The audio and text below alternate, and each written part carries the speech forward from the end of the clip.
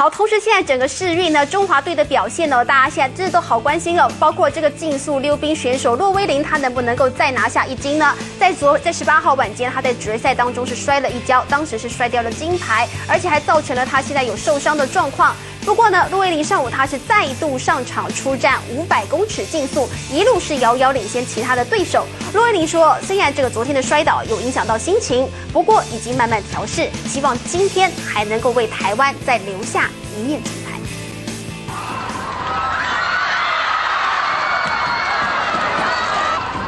我国卫兵选手郭威林前一天晚上摔了一跤，摔掉奖牌，手肘、膝盖也挂彩，让全国民众扼腕。十九号上午，洛威林再度上场，似乎已经调整好心情。第二个位置还有第三位的韩国选手也跟上了。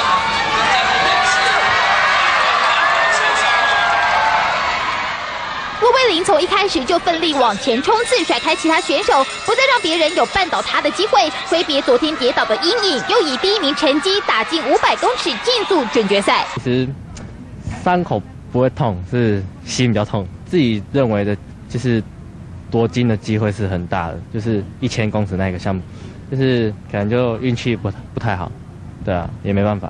虽然跌倒造成心中的阴影，不过洛威林国际赛经验丰富，教练也对他很放心。本来以往我设定就是他上去动一动而已，但他想说他那个那一股在一千公尺被人家绊倒那一股怨气，如果没有出出来的话，可能晚上会睡不着。我说 OK，没关系，你就上去，但是你要自己调试。破了我帮他们手缝啊，不然怎么办？大概破多少？大概有十公分。